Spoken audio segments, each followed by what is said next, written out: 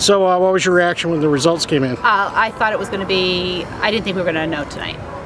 That's that was. I was surprised to have it be so decisive on the top two. So now, what's next?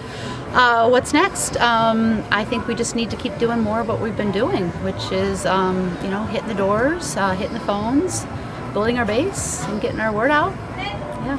Um, Are you going to be talking to the other candidates regarding endorsements now?